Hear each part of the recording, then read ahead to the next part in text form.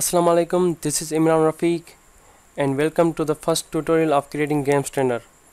दोस्तों ये हमारे creating games trainer का पहला tutorial है जिसमें जो introduction का tutorial है इसमें मैं आपको introduction दूँगा सॉफ्टवेयर के बारे में और गेम के गेम को हैक करने के बारे में मैं आपको पहले पहले कुछ सॉफ्टवेयर्स बता दूँ जिसके ज़रिए हम गेम को हैक कर सकते हैं उसकी लाइफ को हैक कर सकते हैं उसमें आने वाली झंझटें जो हमें तकलीफ़ देती हैं, जैसे अपने दुश्मन की लाइफ को कम करना, अपनी लाइफ को बढ़ाना फ्रीज़ करना अपनी लाइफ को, या टाइम को बढ़ाना, ये सारी चीज़ें हम कर सकते हैं।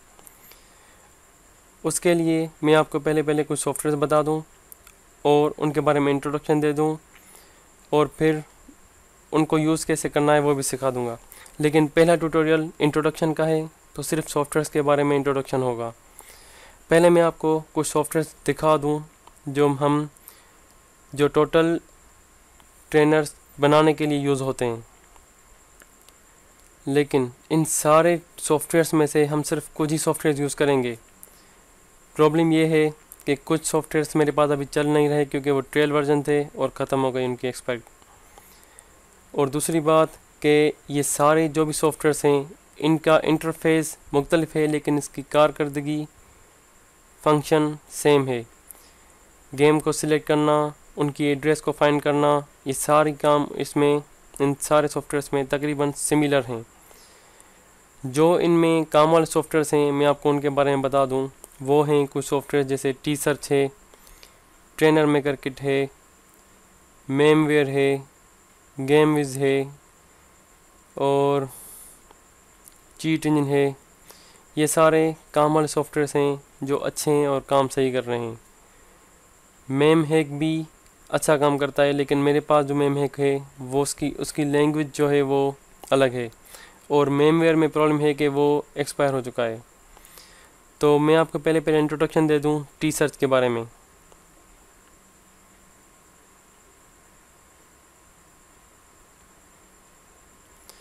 यह है टी सर्च का इंटरफेस टी सर्च एक सॉफ्टवेयर है, जिसके ज़रिए हम गेम को हैक करते हैं। इसका पहला पहला काम क्या है, ये एड्रेस को सर्च करेगा और उस एड्रेस को हम वैल्यू उसकी इस एड्रेस की एक एड्रेस होगी मतलब उस हेल्थ को हम हैक करना चाहते हैं फॉर एग्ज़ाम्पल तो उस हेल्थ की एक एड्रेस होगी, उस एड्रेस की एक वैल्यू होगी और एक टाइप होगी।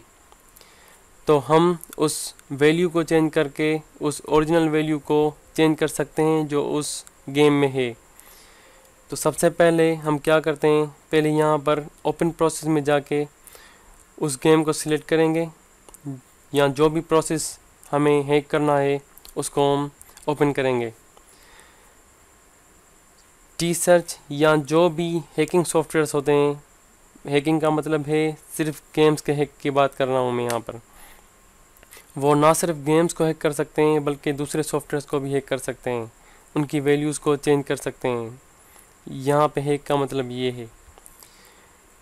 तो उससे कभी कभी ये प्रॉब्लम भी हो जाती है कि वो हैंग हो जाते हैं।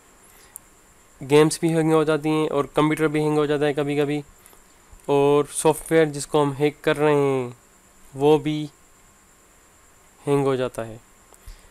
तो ये सिर्फ़ गेम्स के लिए ही यूज़ करना बेहतर है। गेम्स को ये हैक तकरीबन नहीं करता, क्योंकि ये उसी के लिए बना है। तो सबसे पहले यहाँ पर जाके हम उस गेम को सिलेक्ट करेंगे। उसके बाद मैं आपको सारे फ़ंक्शंस इसके बताऊँगा, जब हम गेम को सिलेक्ट करेंगे। वो हम दूसरे ट्यूटोरियल्स में करेंगे, आगे चलकर।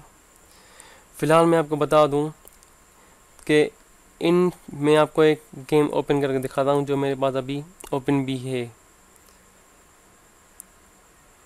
ठीक है ये गेम है टॉम एंड जेरी जैसे मैं यहाँ पे जाऊँगा ये है पहले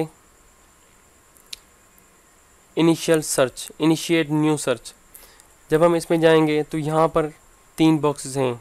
एक सर्च का एक वैल्यू एक, एक और एक टाइप सर्च में तीन ऑप्शन हैं एग्जैक्ट वैल्यू रेंज और अननोन एग्जैक्ट वैल्यू का मतलब है जब हमें गेम के बारे में या जो चीज़ हमें गेम की हैक करनी है, उसकी वैल्यू चेंज करनी है, उसके बारे में पता हो कि उसकी वैल्यू एग्जैक्ट है। मतलब वो वैल्यू हमें नज़र आ रही हो और वो वैल्यू हमें मिली हुई हो। उसकी वैल्यू डिजिट्स में हो और हमें पता हो कि एग्जैक्ट कितनी है। तो हम एग्जैक्ट वैल्यू यूज़ करेंगे। अगर हमें पता है कि इसकी वैल्यू रेंज में है for example fifty to hundred twenty five to seventy five या मिनिमम में भी five to ten ninety five to hundred हमें पता है कि मैक्सिमम वैल्यू इसकी हंड्रेड है और उसको थोड़ी सी चोट लगी है तो उसकी रेंज नाइन्टी टू हंड्रेड होगी। तो हम रेंज यूज़ करेंगे।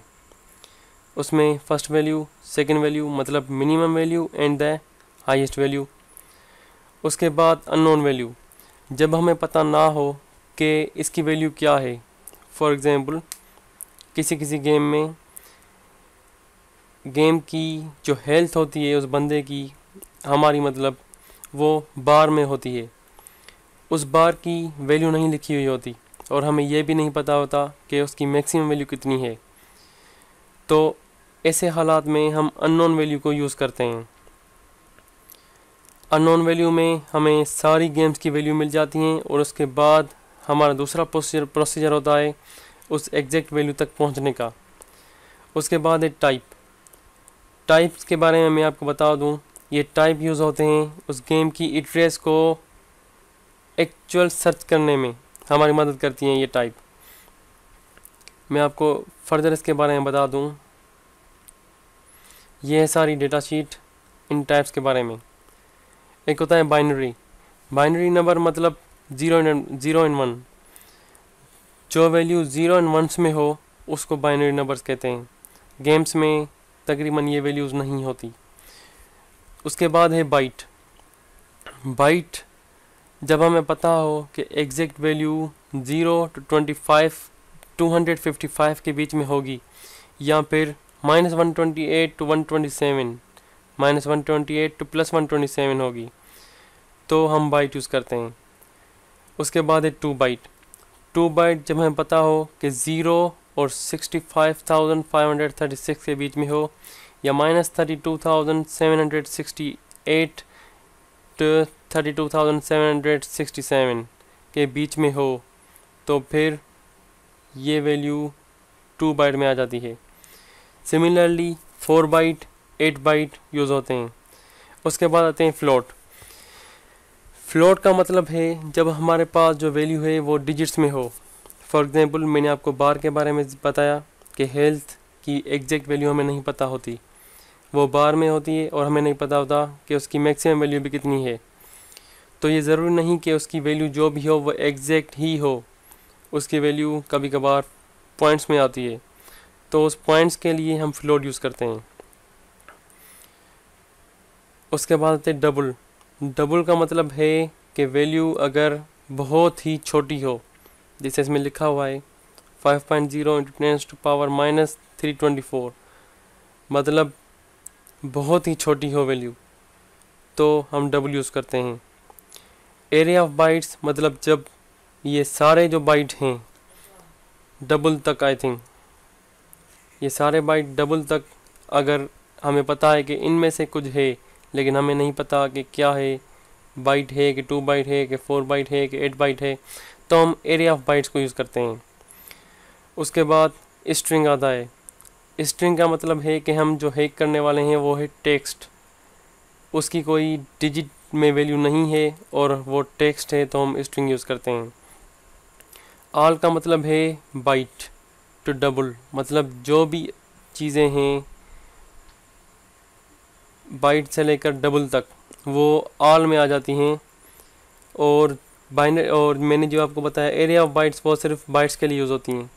मतलब byte two byte four byte and eight byte और ग्रुप्ड इन सारी चीज़ों का निचोड़ है, लेकिन इसको यूज़ नहीं करते, तकरीबन। और ये बहुत सारी सॉफ्टवेयर्स में नहीं है, सिर्फ़ एक सॉफ्टवेयर में है, वो है चीट इंजन उसके बारे में मैं आपको बाद में बताऊँगा। उसका इंटरफेस भी मैं आपको दिखाऊँगा। तो ये था टी सर्च के बारे में सारा इंट्रोडक्शन फर्दर हम इसको यूज़ करेंगे जब हम गेम के हैक करेंगे जब हम इसको यूज़ में लाएँगे अब चलते हैं दूसरे सॉफ्टवेयर की तरफ़।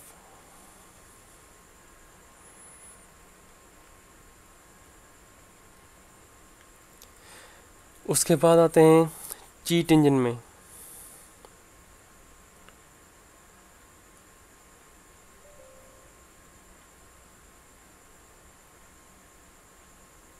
ये है चीट इंजन का इंटरफेस बिल्कुल उसी तरह से, जिस तरह से हम टी सर्च में गेम को सिलेक्ट करने के लिए एक ओपन प्रोसेस में जाते थे, इसमें भी सिलेक्ट प्रोसेस टू ओपन में जाएँगे और हम गेम को सिलेक्ट करेंगे। क्योंकि वो गेम अभी तक खुली हुई है तो यहाँ पे होगी। और वो है, नीचे चली गई।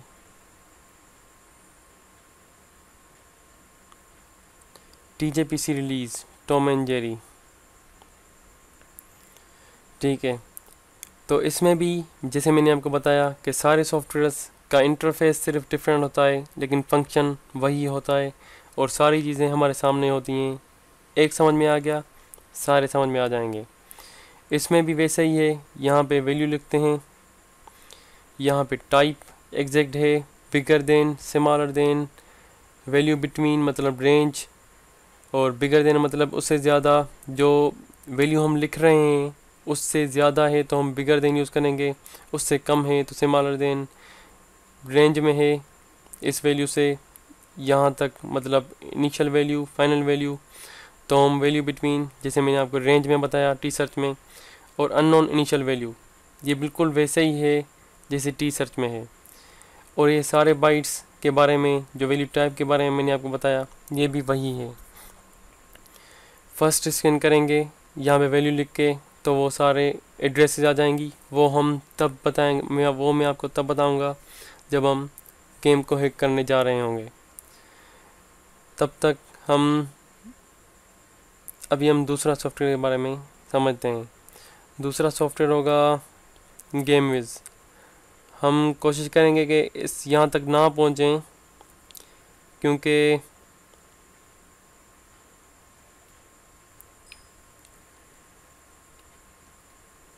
क्योंकि वो दोनों सॉफ्टवेयर्स बेस्ट हैं।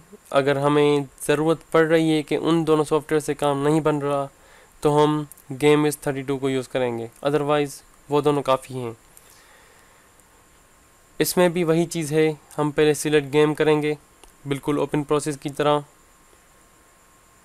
टॉम एंड जेरी यहाँ पे वैल्यू होगी। लेकिन इसमें एक बात है कि यहाँ पर हम सिर्फ़ अननोन वैल्यू में ही ये बता सकते हैं कि वो फोर बोट फोर बाइट है टू बाइट है या बाइट है।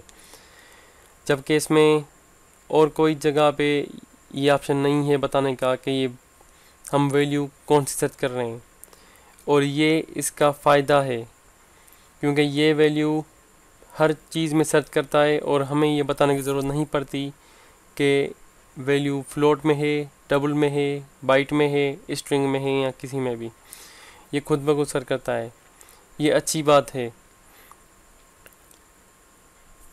तो ये थे तीन सॉफ्टवेयर्स, उसके बाद आता है मेन सॉफ्टवेयर वो सॉफ्टवेयर है ट्रेनर मेकर किट का। ट्रेनर मेकर किट एक सॉफ्टवेयर है, जिसकी वजह से हम सॉफ्ट ट्रेनर बनाते हैं। वो जो सॉफ्टवेयर थे टी सर्च गेम या चीट इंजन वो सिर्फ़ गेम्स की वैल्यू को हैक करते हैं, उसकी वैल्यू वहीं पे चेंज करते हैं, लेकिन जब तक वो सॉफ्टवेयर खुला रहेगा, तब तक ही वो काम करेगा। मतलब वो वैल्यू तभी चेंज कर सकता है, और उसकी वैल्यू को हम चेंज भी कर सकते हैं, उसकी एड्रेस को भी चेंज कर सकते हैं, लेकिन उसको एक पर्टिकुलर शेप में लाने के लिए हम यही सॉफ्टवेयर यूज़ करते हैं। यहाँ पे हम प्रोजेक्ट का नाम लिखेंगे और फिर हम क्रिएट पे क्लिक करेंगे तो वो प्रोजेक्ट बन जाएगा और उसके बाद हम शेप बनाएँगे उसका और सारा वो प्रोसीजर में आपको बताऊँगा आगे चलकर। तो अपने अगले ट्यूटोरियल में हम टॉम एंड जेरी पर ही काम करेंगे और उसकी हेल्थ को हैक करेंगे। तब तक के लिए अल्लाह हाफिज़।